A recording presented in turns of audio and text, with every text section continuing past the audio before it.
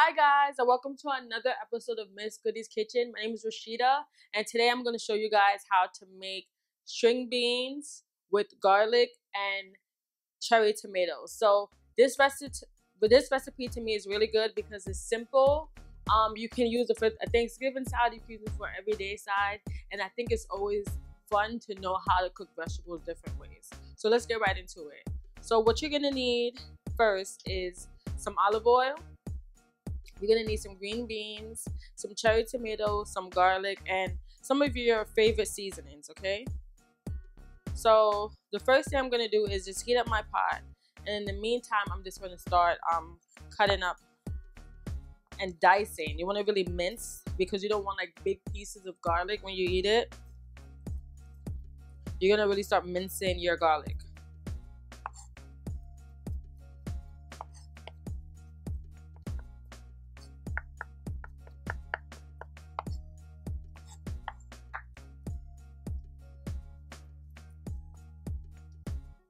While you're mincing, just add your olive oil to your pan.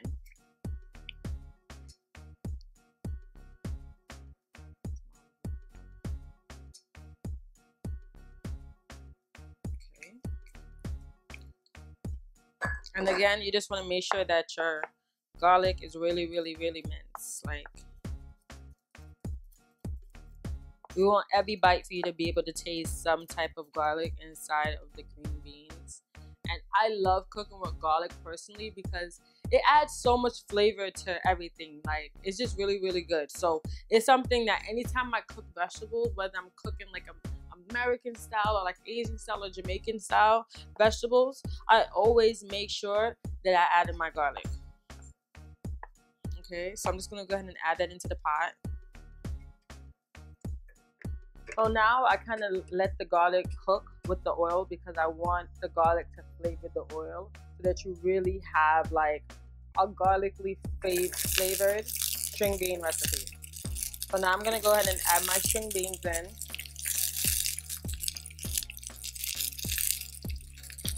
Okay. And just let that saute.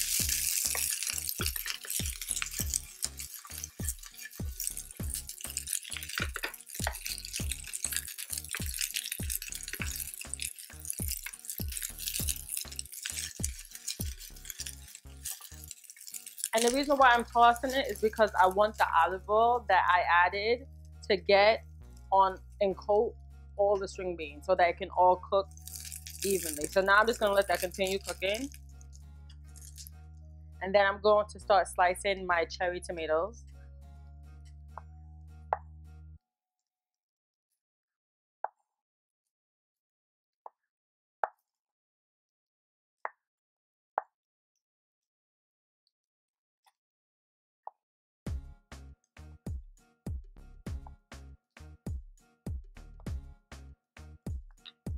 Gonna add that in there as well.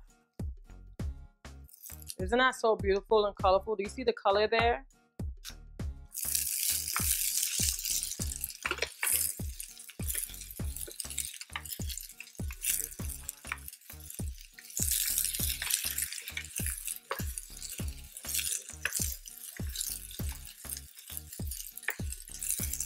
And then I'm also gonna add some seasoning. So I have like my favorite blend that I've been telling you guys that I use is just smoked paprika with some garlic powder, some black pepper, some onion powder. I don't like to cook with a lot of salt. I like to use a lot of herbs and dried spices instead. And if you just see, this is beautiful. Like, look how flavorful this looks. You have your garlic, you have your juicy cherry tomatoes, you have your spice and your flavors from the different herbs that I just add in the different spices.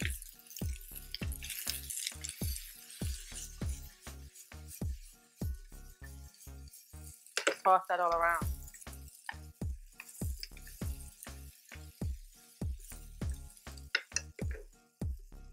So I'm gonna leave this, I'm gonna watch it on like a medium high heat and I'm gonna let it continue to cook.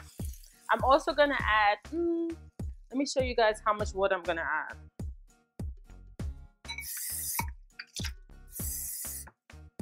I'm going to add a little bit of water as well.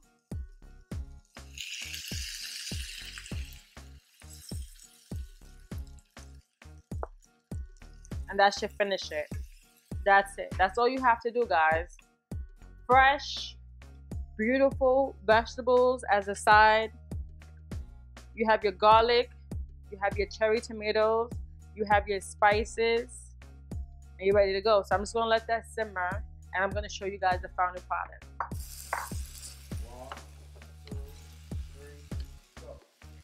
Guys, our string beans are ready. So now I'm just gonna turn the fire off and I'm gonna plate this up. When you're making string beans, you don't wanna overcook it. When it starts going from green to brown, you may have cooked it for too long. So just keep that in mind. Um, also, you can use frozen vegetables. I think that frozen vegetables are very helpful because we all live busy lives and we don't have time to go shopping every day for fresh vegetables. So if you could get them frozen, get them frozen. I would steer away from the canned vegetables just because most of them have a lot of sodium in it that they put to help preserve the vegetables. So if you can stay away from the can, stay away from the canned vegetables and just stick to fresh or frozen.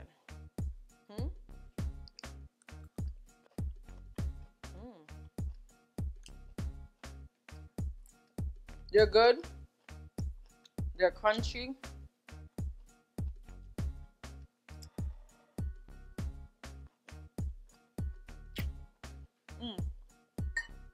And then the flavor from the grape tomatoes, they literally like burst. And everything together, you may feel like, okay, this is like really, really simple.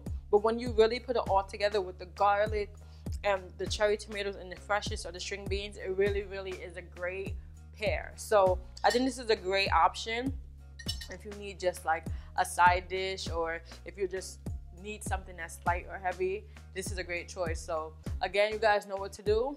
Like, comment, subscribe. When you try it out, let me know how it worked at home, okay? Thanks guys for watching Miss Goodie's Kitchen. Have a good day.